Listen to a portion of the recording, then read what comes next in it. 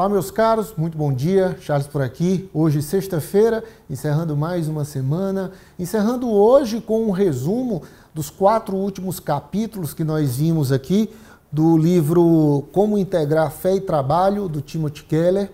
E a gente viu na segunda-feira o capítulo O Trabalho se torna infrutífero. Nós vimos lá que, segundo Keller, nós vivemos num mundo que é sustentado por Deus, mas que é desorganizado pelo pecado. Ou seja, a nossa conduta, a nossa separação de Deus, a nossa maneira de conduzir as coisas sem pauta dentro da palavra da tradição bíblica, isso faz com que o nosso trabalho se torne infrutífero. Nós temos um, um mundo desorganizado pelo pecado, desorganizado pelas atitudes, desorganizado pela nossa conduta moral, tudo isso atrapalha o desempenho do nosso trabalho e muitas vezes a gente não entende por que, é que o nosso trabalho não frutifica, por que, é que não se multiplica, por que, é que a gente não consegue alcançar os nossos objetivos e muitas vezes isso está pautado na nossa conduta. Nós vimos na terça-feira uh, o trabalho perde o sentido e aí o, o Keller nos ensina que muitas vezes o nosso trabalho não tem significado porque nós estamos depositando as nossas expectativas em coisas transitórias, coisas que necessariamente serão tomadas de nós. Ele comenta lá em Eclesiastes, né, tudo que é feito debaixo do sol será penoso. Eclesiastes eh, nos ensina muito sobre essa questão do trabalho não trazer nenhuma recompensa significativa, não traz nenhum significado se nós estamos depositando nossas expectativas, nossos anseios, nossas, nossos desejos em coisas que são transitórias, como bens materiais, a satisfação de, do, dos prazeres sensíveis, nada disso traz significado. Ele vai nos falar que essa separação que nós temos de Deus através do pecado, né?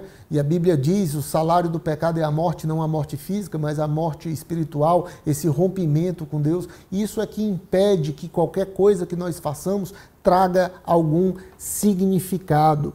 Nós vimos na quarta-feira o trabalho se torna egoísta, e aí o Keller vai mencionar não é, toda a fundamentação bíblica para isso, né? quando nós usamos o nosso trabalho para fins egoísticos, para fins egocêntricos, pensando exclusivamente no nosso benefício, pensando em o quanto eu vou ganhar com isso, né? fazer as coisas, mas sempre pensando como que essas coisas podem me servir e nunca como eu posso servir a isso, esse sentimento egoísta por trás daquilo que nós fazemos é o que nos causa aí tanto desconforto, tanto descontentamento e o trabalho nesse sentido, né, um trabalho egoístico, um trabalho que tem essas características do egoísmo, ele causa a nossa separação de Deus.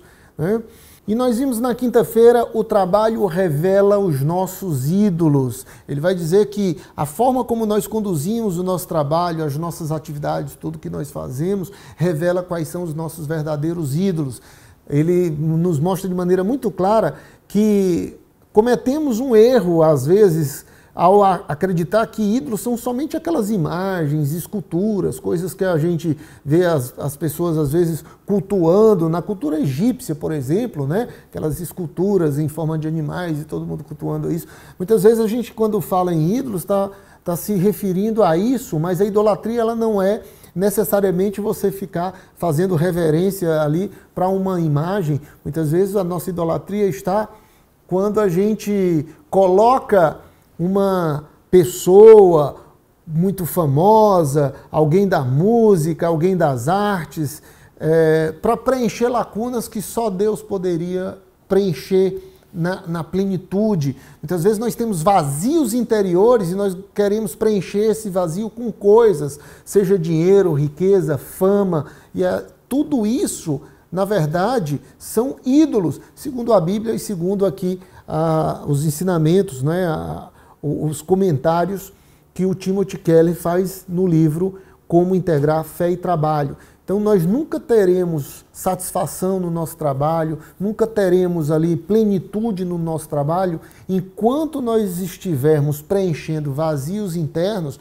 vazios que só poderiam ser preenchidos pelo senso de vida eterna, pelo, pelos ensinamentos da tradição bíblica, por aquilo que nos ensinou o maior de todos os mestres, Jesus Cristo, enquanto nós estivermos preenchendo esses vazios com coisas do mundo, é, com a, uma música, com a pornografia, com a satisfação dos desejos sensíveis, dos prazeres sensíveis, descontando muitas vezes na comida, querendo muitas vezes viver na promiscuidade, isso nunca vai nos dar uma satisfação plena no nosso trabalho nem na nossa vida. Então, espero que você tenha gostado da série. Se você não assistiu, é, os vídeos anteriores, eu te sugiro voltar lá e assistir, porque hoje, nessa sexta-feira, nós fizemos aqui apenas um resumo, mas é um pouco de tudo aquilo que a gente conversou ao longo da semana inteira. Então, tenham todos um excelente final de semana, um grande abraço e até a próxima.